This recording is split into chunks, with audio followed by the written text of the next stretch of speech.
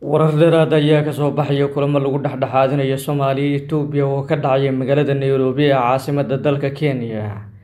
Dadaalka dhexdhexaadinta oo ay hormuud u tahay dowladda Kenya ayaana sidoo kale lagu doonayaa in xal looga gaaro khilaafka dowladaha Muqdisho iyo Addis Ababa ee salka ku haya is-afgaradka Itoobiya ee la saxiixatay Jamhuuriyadda iskeed ugu dhawaaqday madax-bannaanida ee Somalilan. Dowladda Federaalka Soomaaliya ayaana ku tilmaamtay heshiiskaasi weerar qaawan oo Itoobiya u soo qaaday madax-bannaanideeda dhuleed iyo sidoo kale midnimadeeda. Somalilan waxay ku tilmaamtay is-afgaradka Itoobiya looga karaynayo marin bad oo toos iyo sidoo kale saldhig ciidan in uu horseedayo in Addis Ababa ay noqoto dowladdii ugu horreysay ee si rasmi ah u aqoonsata. Dowladda Federaalka Soomaaliya waxay horey dhowr jeer ugu celcelisay in aysan wada hadal iyo dhexdhexaadin la geli doonin Itoobiya inta ay ka noqonayso is-afgaradkii ay la gaartay Hargeysa. Hadalka dowladda waxa uu daba socdaa baaqyo caalami ah oo ka kala imaanaya beesha caalamka iyo Midowga Afrika iyo dalal kale oo qaarkood ku dhaliilay Itoobiya is-afgaradka muranka dhaliyay.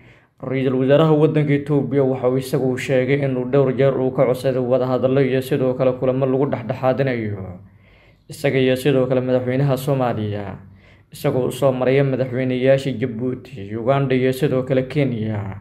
Waxa uu tilmaamay in Soomaaliya ay diiday dhammaan wada hadalladaasi.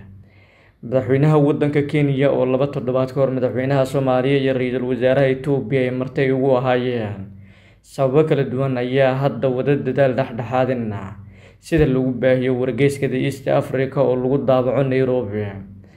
Madaxweyne xasan sheekh maxamuud waxa uu yimid Nairobi si uu kaga qayb galo meertada lixaad ee shirka cimilada ee qaramada midoobay halka Abiy Ahmed uu booqasho rasmi ah uu ku tagay dalka Kenya.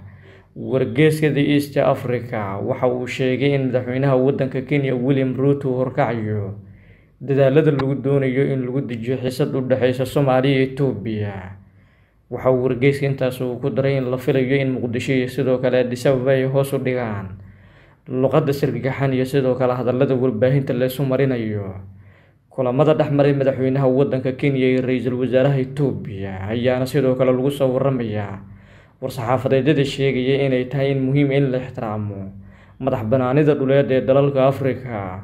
Wasiirkii hore arrimaha dibadda ee Soomaaliya Ambassador Axmed Ciise Cawad ayaa ku tilmaamay war-saxaafadeedka mid albaabada u furaya dhexdhexaadinta Kenya ay wado, isla markaana Itoobiya uu faray albaabka in ay uga baxdo xiriirka diblomaasiyadeed. Wargeyska The East Africa oo soo xiganaya ilo diblomaasiyadeed waxa uu sheegay in ay waddo hadallo markaasi bilowday oo ay sii socon doonaan uuna jiri doono kulamada mustaqbalka dhow inay dhici doonaan kaasi loo raacayo meesha uu ka qabsoomayo si ay wada hadallada u sii socdaan. Dowladda Federaalka Soomaaliya waxay ku adkeysanaysaa in aysan wada hadal la geli doonin Itoobiya ilaa laga noqdo is-afgaradka laakiin dowladda Kenya muddo waday dadaallo hoos markaasi loogu dhigayo dhexdhexaadinta labada dhinac. Markii ugu horreysay muddo dhowr toddobaad ah waxaa magaalada Nairobi yimid saraakiil ka kala socotay Soomaaliya iyo Itoobiya kuwaas oo u kala dabqaadaya dowladda Federaalka Soomaaliya iyo sidoo kale midda Itoobiya. Wafdiga labada dhinac ee dowladda Soomaaliya Itoobiya ma yeelanin wax kulamo toos ah maalmahana ay wadeen amaba sidoo kale wada joogeen magaalada Nairobi laakiin waxay xogta markaasi ay kala gudbinaysaa in diblomaasiyiinta Kenya ay markaasi ay kala dhexdhexaadiyaan labada dhinac.